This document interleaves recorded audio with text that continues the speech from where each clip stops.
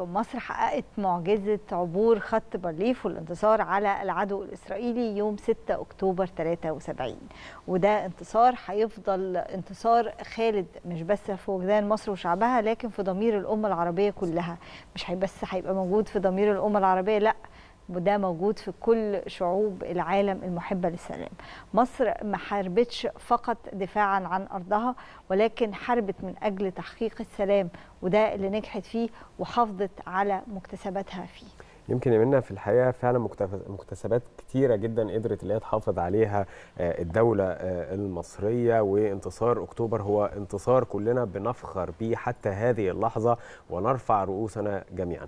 إحنا النهارده هنتكلم في صباح الخير يا مصر عن أهم الدروس المستفادة من الإعداد والتخطيط الجيد لحرب أكتوبر ولماذا تم قبول وقف إطلاق النار رغم الانتصار. كل الأسئلة دي هنجاوب عليها من خلال ضيفنا اللي منورنا فيها الاستوديو اللواء طيار دكتور هشام الحلبي المستشار بالأكاديمية العسكرية للدراسات العليا والاستراتيجية. صباح الخير يا دكتور. أهلا وسهلا. صباح الخير. حضراتكم الساده المشاهدين. أهلا وسهلا. منورنا يا فندم. أهلا بيك يعني.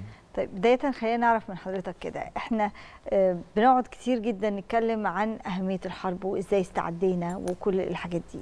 وإحنا بنبقى حاسين بالفخر وبنبقى حاسين بالعزة وبنبقى حاسين إن إحنا حقيقي عملنا حاجة إحنا الجيل اللي ما حضرناش ولا ولا شفنا ولا عشنا لكن سمعنا من الأجيال اللي قبلنا. نقدر نقول إن أكتر حاجة استفدنا منها من حرب أكتوبر ومن التخطيط لحرب أكتوبر وعايشين لغاية دلوقتي بنستفيد ومكملين مكملين في الاستفادة منه. ده سؤال مهم جدا. يعني لو إحنا شفنا فترة فترة الإعداد والتخطيط لحرب أكتوبر المشكلة الرئيسية إن نرجع خطوة صغيرة لورا وبعد حرب 67 كانت القوات المسلحة مدمرة. امكانياتها الحقيقة كانت يعني شبه مش موجودة أو ضعيفة جدا. ما كانش ينفع تقوم بحرب وهما العالم كله كان حاسس كده. العالم كله ما سياسيا بيبص لنا إن إحنا منهزمين. وعسكريا ما حدش بيدي سلاح لحد منهزم. لأن السلاح ده سلاح بتاع دول بتسوق بتنتج عايزة تكسب فادي سلاح منهزم يقول لك هيتدمر على الأرض أديله ليه؟ صحيح. فالناحية العسكرية كانت في منتهى الصعوبة والوضع السياسي كان في منتهى الصعوبة.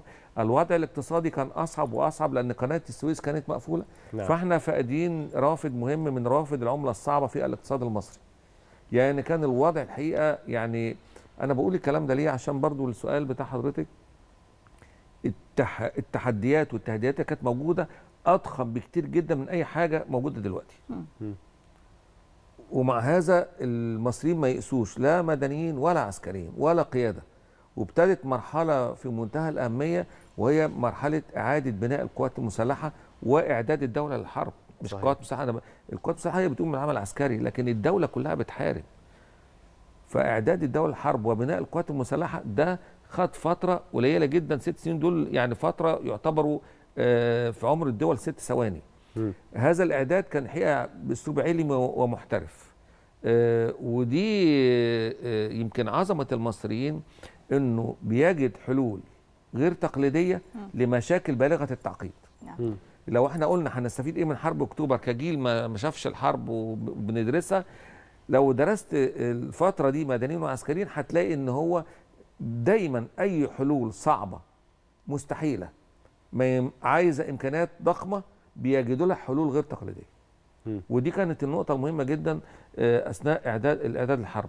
في نقطة في منتهى الخطورة أثناء الإعداد وهو كان في حرب الاستنزاف. فإذا كان في حرب يمكن ما حدش ألقى الضوء عليها كتير جدا وهي حرب الاستنزاف قعدت سنين والعدو كان عنده قوات جوية قوية جدا.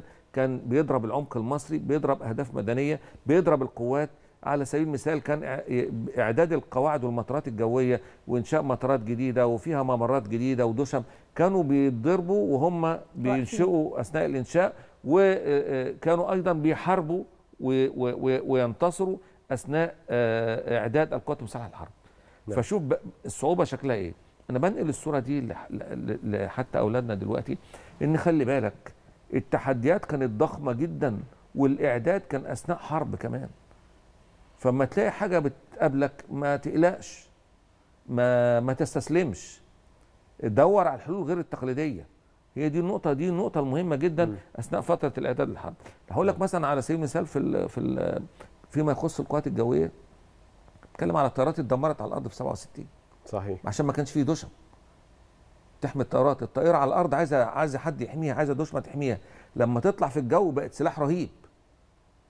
وبالتالي أنا لازم الطيارات دي ليها دشم بمواصفات معينة يتم لا زي الهنجر كده زي عاملة زي ال ال الهنجر الكبير بس خرسانة ليها سمك معين تحط عليها أتربة معينة وشكل معين بحيث لما يحصل ضربة جوية الطيارة جوه الدشمه دي ما ما يحصلهاش حاجة. بحاجة. تمام؟ دايما الطائرة على الأرض يجب حمايتها. أول ما تطلع في الجو بقت سلاح ملوش حل. لو أحسن استخدامه. طيب سيادة ف... اللواء إحنا ف... خرجنا من يمكن زي ما حضرتك ذكرت هزيمة في 67 تحديدا وكانت نفسية ومعنويات المصريين جميعا محطمة. تمت الدولة في ذلك الوقت إعادة تسليح الجيش مرة ثانية إعادة الثقة في قواتنا المسلحة مرة ثانية وعدد من البطولات الكثيرة التي نفذت حتى ما قبل انتصار أكتوبر. عاوزين نتكلم على هذه العمليات تحديدا. النقطة المهمة إن المصريين ما انكسروش. يعني بعد حرب اثناء على فكرة أثناء حرب 67 والطيارات اتدمرت وممرات اتدمرت في طيارين طلعوا على جزء من الممر واشتبكوا مع طائرات العدو وأسقطوا طيارات. عدد آه يمكن مش كبير جدا لكن هو الإمكانيات اللي في إيده على الظروف اللي موجود فيها على جزء من الممر اللي ممكن يطلع عليه هو طلع نفذ مهام. ودي عقيدة. المقاتل المصري فالنقطة يعني بداية النصر كان إن أنا ما انكسرتش. لا لا مدنيين ولا عسكريين. مرحلة الإعداد كانت إعداد مشترك ما بين القوات المسلحة وكل المصريين لأن بناء الدوشم في المطارات والقواعد الجوية وممرات جديدة عشان أقدر أطلع بعدد كبير من الطيارات ده كان بيقوم بيه شركات مدنية. فكان لما يحصل ضرب على المطارات أثناء الإعداد أو قواعد الصواريخ بالنسبة للدفاع الجوي كان بيستشهد مدنيين مع العسكريين. دي كانت ملحمة جيش وشعب مع بعض. تمام؟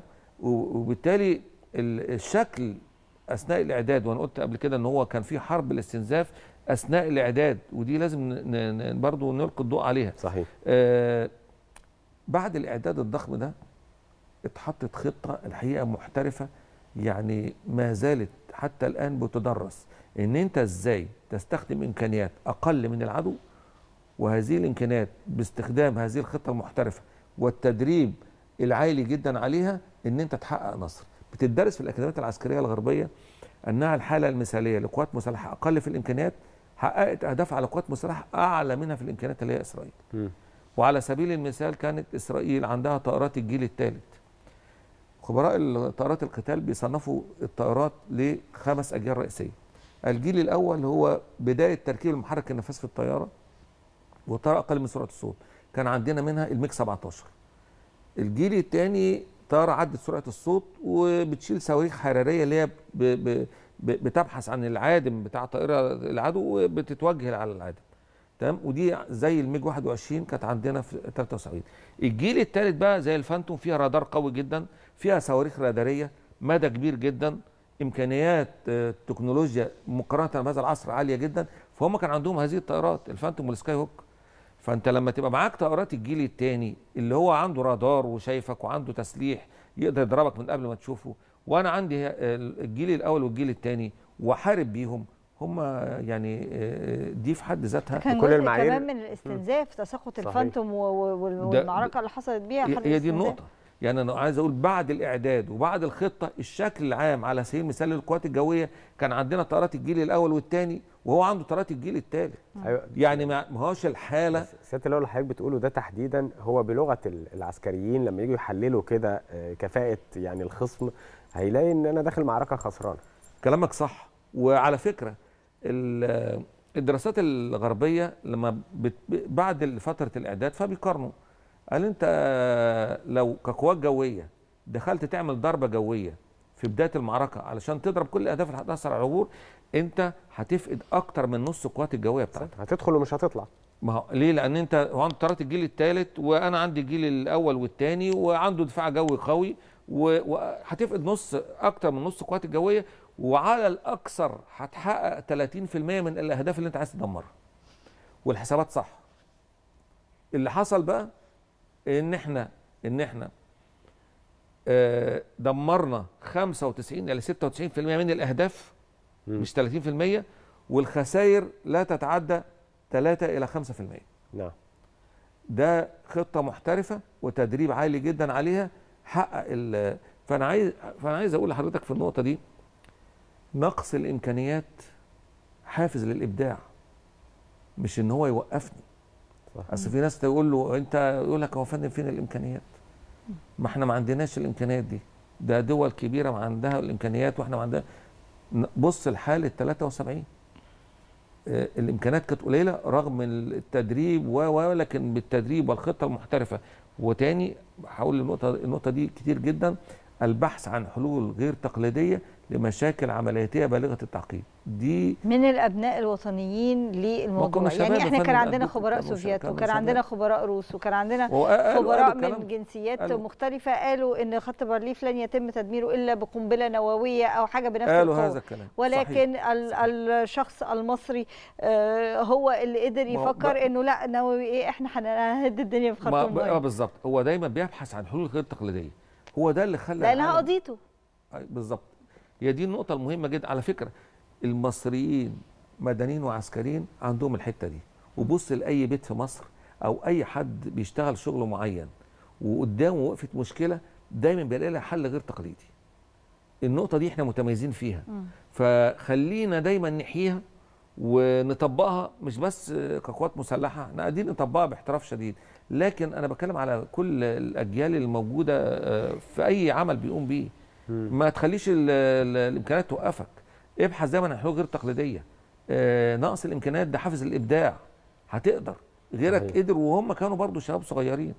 يعني أديك مثال في 73 طيار ميج 17 ميج 17 طيار أقل من سرعة الصوت من الجيل الأول من للطيارات. مدى قليل جدا. طبعا ما فيهاش رادار ما فيهاش أي حاجة. تمام؟ اشترك مع طيارة فانتوم من الجيل الثالث رادار قوي تسليح قوي آه، صواريخ رادارية وحرارية كل اللي عايز تقوله قوله لما اشتبكوا مع بعض الطيار الميج 17 أسقط الفانتوم ما هو كان شاب صغير برضه. بقى يزيد على ذلك. طائر هليكوبتر مي 8 برضه اشتبكت مع طيارة. طياره فانتوم عايزة تضربها. انتهز فرصة مهمة جدا لضرب الطيارة الفانتوم و و و وأثناء ال ال ال ال ال الاشتباك بينهم. آه، آه، الطيارة الهليكوبتر اسقط الطياره الفانتوم العالم الحاجات دي وقفت العالم كله إن أنتوا أنتوا آه، أنتوا مين؟ أنتوا بتعملوا إيه؟ وده اللي خلاهم يجوا على مائدة المفاوضات. وهتكون فاكر إن هم جم على مائدة الفوضى- المفاوضات بالساهل. لا ما قبل قبل 73 هو ما كانش كان رافض تماما يقول لك عايز سلام الوضع زي ما هو ونعمل سلام. سينا مش راجعة. ومحاولات كثيرة جدا. قال لك لا لا لا لا. يا تفضل كده يا تعمل سلام على كده. بعد الحرب تعالى على طول المفاوضات حاضر. هتمضي حاضر. هتنفذ المعاهدة وترجع حاضر. طب سياده اللواء أنا كسبان إيه اللي خلاني أقبل مفاوضات؟ إيه اللي خلاني أقبل وقف إطلاق النار وأنا كسبان؟ كلام كلام محترم وسؤال مهم. لما ابتدت الحرب بهذا الشكل تشكلت لجنة في أمريكا. مم. ودي طبقا لوثائق أمريكية اسمها Washington Special Action Group هذه اللجنة يقودها ويرأسها الرئيس الأمريكي في هذا الوقت نيكسون. معاه مين؟ كل مجلس الأمن القومي الأمريكي وطبعا و- و- والمخابرات ووزير الدفاع وكل ما هو آه، موجود في مجلس الأمن. ابتدت هذه اللجنة تدير الحرب لصالح إسرائيل. فلقوا إن الموقف في منتهى الصعوبة على إسرائيل وابتدوا يعملوا خطة إمداد استراتيجي يعوضوهم عن الطيارات اللي وقعت وعن الأسلحة اللي اتدمرت. و و ويزيد على ذلك إن هم ما كانوش عارفين الموقف على الأرض شكله إيه. الموقف عندهم ملتبس. وإسرائيل بتنقل موقف ما هواش آه، كامل عسكريا عشان الرئيس الأمريكي ياخد آه، قرار معين. عملوا إيه بقى؟ ودي أول مرة تحصل أثناء حرب. طلعوا طيارة استطلاع استراتيجي. ال SR 71 الطيارة دي-. آه أمريكا. طياره أمريكاني. الطياره دي ما بتطلعش غير بأمر الرئيس الأمريكي لأنها هتخش منطقة عمليات بيننا وبين إسرائيل. والطياره دي المفروض تطلع من أمريكا تيجي تصور الجبهة عشان تديهم المعلومات. أوروبا أوروبا رفضت إنها الطياره دي تنزل تمون. الطياره دي جاية طايرة من أمريكا لغاية سينا مو رايح جاي مونت خمس مرات في الجو صورت صورت الجبهة بالكامل وإدوا ال- الصور ولمجلس الأمن القومي الأمريكي برئاسة الرئيس نيكسون. المهم بقى الوثيقة دي مهمة قوي. الاثنين طايرين طايرين الطلعة عملوا كتاب بتصديق بعد ما الطياره اتكهنت وذكروا فيه أهم الطلعات اللي طاروها منهم طلعت مصر. الطياره دي جاية طايرة على ارتفاع فوق ال 80 ألف قدم. أعلى طياره عندنا وعند إسرائيل ما تطلعش بأي حال من الأحوال غير عند 40 ألف قدم. يعني في 40 ألف قدم فرق. الطيارة دي بتشيل ب... ب... ما فيهاش تسليح على فكرة هي بتعتمد إنها طيارة ارتفاع عالي جدا وسرعتها أكتر من ثلاث أضعاف سرعة الصوت. فهي محمية بارتفاعها وسرعتها. مم. صورت الجبهة بالكامل ادوا الصور دي لأمريكا لل- للجنة المشكلة ابتدوا أمريكا ي- ي- يعملوا حاجتين. يديروا طبقا للمعلومات اللي هي مش متوفرة حتى عند إسرائيل وابتدوا يعملوا جسر استراتيجي جوي وبحري قعد شهر لإسرائيل بنوا لهم قوات مسلحة جديدة. طبعا. دول حدود من 40 أول. طياره فانتوم 30 طياره سكاي هوك لدرجة إن النقل الاستراتيجي إسرائيل ما عندهاش امكانيه الطيارات دي. إس- أمريكا نقلت نقلت لهم بطياراتها.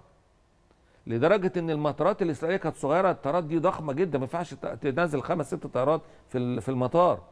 عملوا جدولة معينة إن أثناء هذا الجسر طيارتين إلى ثلاثة بالكثير يبقوا على الأرض ويطلعوا والطيارتين اللي ينزلوا. ال- النقطة المهمة أنا بقول لك برضو ليه ده ده اللي كان المفروض برضو الشباب يعرفوا آه، يبقى هم كده ادوهم معلومات استحالة كانوا يقدروا يجيبوها؟ صحيح. ادوهم تسليح متنوع و- وال- وت- وترتيبة التسليح في الطيارات ترتيبة عملياتية. يعني مش بتنقل الأسلحة في طيارة وذخيرة في طيارة لأ. بحيث الطي... على فكرة التسليح اللي جاي اللي الأمريكان بعتوه مفيش مصنع سلاح عنده التسليح ده مرة واحدة. ده سحبوه من صلب تنظيم الجيش الأمريكي.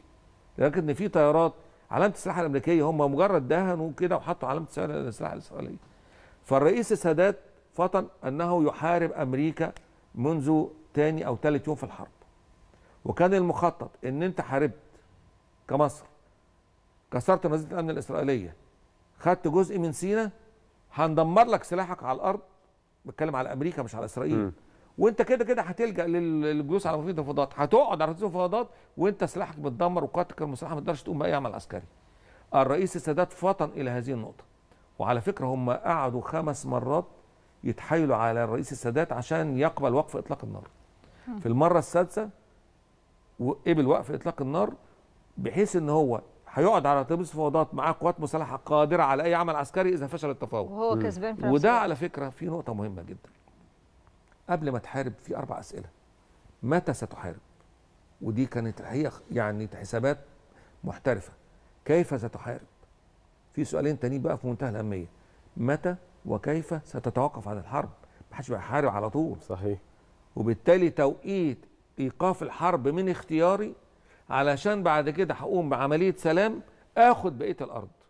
على فكرة استخدام القوى الصلبة اللي هو الحرب واستخدام القوى الناعمة اللي هو المفاوضات الاثنين مع بعض في العلم الحديث وبتدرس في أمريكا دلوقتي بيسموه القوى الذكية. وهو المزج المحترف بين القوى الصلبة والقوى الناعمة في استراتيجية واحدة فاعلة. فأنا والله برد المصطلح إلى أهله وإلى أصحابه. لما تاخد مفهوم القوى الذكية اللي بتدرس في أعلى جامعات أمريكا وتطلع على حرب 73 ومشروع السلام الاثنين مع بعض كاستخدام محترف للقوى الصلبة والقوى الناعمة اللي هو القوى الذكية يبقى أصحاب هذا المصطلح الرئيس السادات والمصريين. أنا بشتغل أكاديمي بقول لك هات المصطلح وتعريفه اللي طلع من خمس ست سبع سنين بالكتير عشر سنين وارجع ل 73 ومع و و ومشروع السلام وشوف هتلاقي نفس التعريف وباحتراف شديد صحيح. ويحقق وياخد الأرض. بتاعته. طيب ست اللي هو يمكن الحرب كانت مش بس حرب عسكرية كانت أيضا حرب نفسية. طبعا. لأن كانت إسرائيل من اليوم الأول تلعب على نفسية المواطنين نفسية المصريين. ولطالما روجت أنها الجيش الذي لا يقهر. ورغم ده قدرنا إن إحنا نحقق الفوز والانتصار. الفوز والانتصار ده نظر إليه العالم إزاي؟ بعد هذا الترويج الكبير والمبالغة التي وصلت إلى المبالغة من الجيش الإسرائيلي. طبعا ده خلي بالك حضرتك نقطة مهمة جدا أن الحرب النفسية والعمليات النفسية جزء أصيل من أي حرب. لأن أنا لو قدرت أكسرك نفسيا من البداية من قبل ما تحارب مش هتحارب. اللي هي فلسفة النصر دون قتال.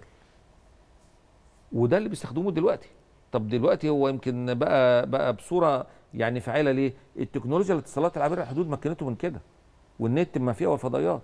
فاتعمل طبعا علينا حرب نفسية رهيبة جدا على مصر لكن الشخصية المصرية شخصية عنيدة في حقها. صحيح. ما تسيبش حقها تمام؟ الشخصية المصرية الشخصية ما بتتكسرش. فخلي بال حضرتك هم الناس دي محللانا.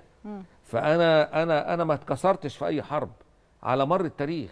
ده أجيب لك يعني هتقولي ده 73 وكان 1798 مم.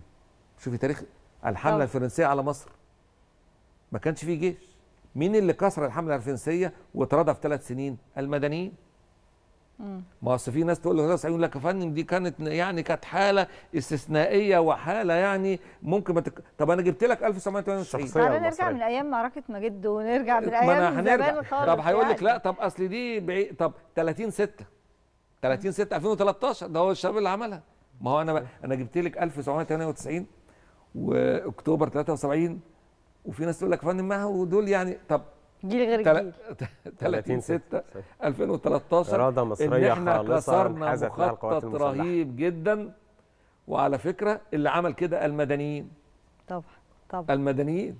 صحيح. فبلاش حد يكسرنا لأن هو ده هو مش قادر إن هو يخش معانا في حرب تقليدية. فاذا الهدف حاليا وهو كسر إرادة القتال وكسر إرادة إن أنا يبقى عندي تنمية. كسر الإرادة ده هو البداية الحقيقية للنصر من وجهة نظره الهدم من الداخل.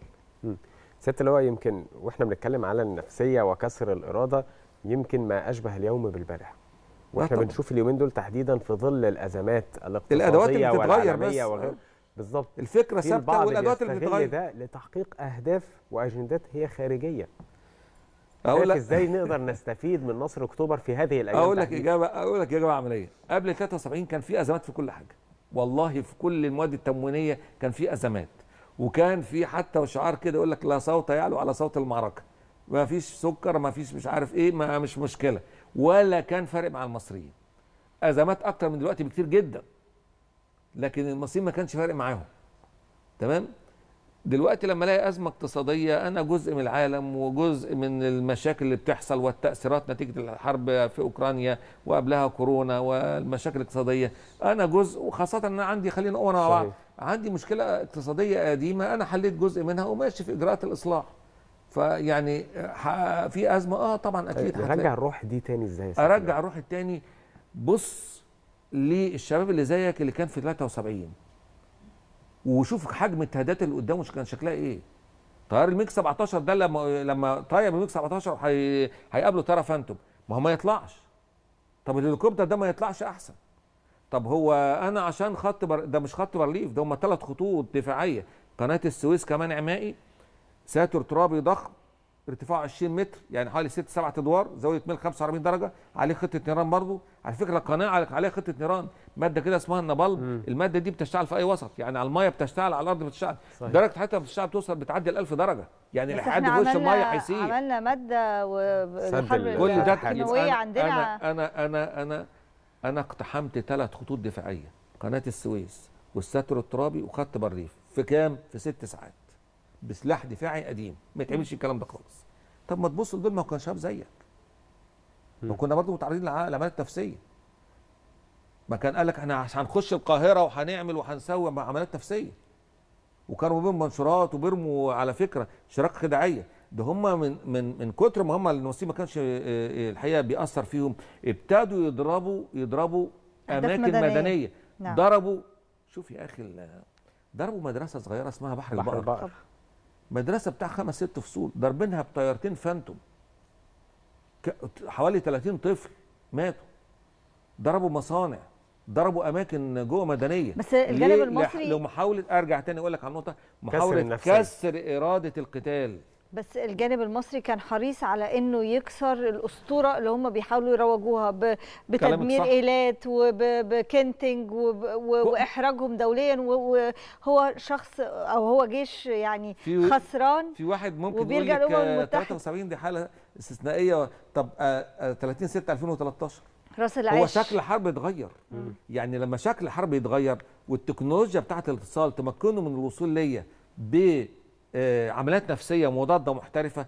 آه، أنا جوايا إن أنا ما حدش يكسرني. هي بس آه، عايز المصريين ما حدش يقدر يكسرهم فهمهم صح. نعم. ودي أنا شايف إن الإعلام عليه دور في الحتة دي بيقوم بيه بس إحنا عايزين نعمله باحتراف شوية. وباستمرارية. وعشان كده يا سياده لو حضرتك منورنا لا أنا عارف والله. محترف يعني أنا أنا أنا أنا طيب. أنا بشكركم لأسئلتكم يعني. حضرتك- أنا بس. أنا ب... ب... بجيب لك آه، 73 أرجع لك كتير قوي 1998 و... و... والمدنيين اللي كسروا الحمله الفرنسية في ثلاث سنين وغيرنا قع... غيرنا قعد كام؟ 132 سنة. مم. 132 وإحنا ثلاث سنين. 30 6 عملوا المخطط ماشي تماما. وعلى فكرة نجح في الاتحاد السوفيتي وانهار ده دولة عظمى. صحيح. دخل المنطقة اللي كسروا المصريين ومين فيهم؟ المدنيين في مصر. والقوات يمكن المسلحه 30 كذلك. 6 ما كانتش عودة الهوية المصرية فقط. 30 6 أعتقد كانت في الجيش المصري كمان رفع كفاءة وتحديث. ده بعدها نتكلم على بقى سلاح ما الطيران. بعد ت- ما بعد 30 6 انت انت عملت للمخطط مشكلة خارجي. انت آه 30 6 وقفت المخطط اللي عندك وكسرت تنظيم إرهابي. وبعدها عامل مشروعات تنمية متعددة المسارات وبتنجح. وهذا هو هيسيبك؟ ما هو لازم مش قادر يخش جوه. فالحل الهدم من الداخل مستخدما صحيح. أدوات تكنولوجية عابرة للحدود. وإعلام حروب ما يقدرش الرابع. النت. طب ما هو إذا كان الهدم من الداخل ما إحنا الداخل وفي حد غيرنا الداخل. فهم الداخل يقف المخطط ببساطة. هي معركة وعي. عشان كده أنا بز... بزعل لما حد يقول لك إيه اوعى تخش على الفيسبوك. اوعى يا ابني النت. ده غلط. ده أنت تخش على الفيسبوك وتعمل لك صفحة. وتذكر فيها الحاجات الإيجابية صحيح. والحاجات السلبية اذكرها وقول لها وقول عليها حلول. طب. واعمل شير مع زمايلك. ما هو اللي بيقول لك ما تخشش ده بيحاول يحل مشكلة بمصيبة. فنلبس المشكلة والمصيبة. سريعا الست اللي هو في فكرة تسليح آه، سلاح الطيران في الجيش المصري دلوقتي وتعدد التنوع اللي موجود في التسليح بتاعه.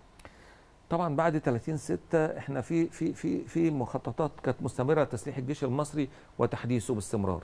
يعني كان هم نقطتين في السياسة العسكرية مهمين وهم معلنين يعني. هو التحديث المستمر لمنظومات التسليح والتعدد. عشان ما حدش يقدر يعني يخليني إن أنا لو اعتمدت على مصدر واحد يوقفني. نعم. وبالتالي بعد 30 6 كان الكلام ده في منتهى الأهمية ورغم إن في ظروف اقتصادية إلا نجاح منقطع النظير وعلى سبيل المثال امتلكنا إمكانيات تسليح تمكننا من العمل خارج الحدود. صحيح. لمسافات كبيرة جدا. وأزمنة طويلة. شوف المسترال يمكن مشتركة في الإنقاذ بتاع ليبيا وال... و... و... وأيضا الرافال 3500 كيلو مدى. والنقطة دي مهمة لأن أنا عندي إمكانيات اقتصادية عالية القيمة موجودة في البحر المتوسط البحر الأحمر على بعد مئات الكيلومترات. أنا لو ما قدرتش أروح أحميها ممكن تتضرب. وبالتالي أنا امتلكت هذه الإمكانيات العالية جدا آه، رغم ظروف صعبة عندي وعند الإقليم وفي العالم كله. ودي تحسب للشعب المصري قوات مسلحة وأيضا مدنيين. لأن ده القوات المسلحه دي ده ملك ما هو المقاتل ده مربيه ام أم مصرية وأب مصري صحيح. مش جاي من حتة تانية.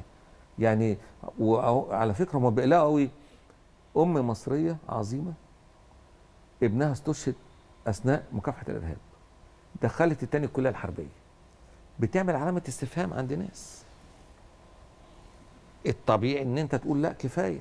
أنا قدمت واحد لكن التاني الحتت دي بتعمل علامات استفهام بتوقف المخططين مش عارفين هم هم هم مش عارفين يعملوا معاصرين فأرجو إن إحنا الحتت دي ناخد بالنا منها بصورة بصورة علمية مم. علشان ننميها باستمرار ومحدش يكسرنا ولا يكسر الأجيال اللي جاية. هي دي نقطة مهمة جدا لأن شكل الحروب الغير تقليدية ده بيمتد.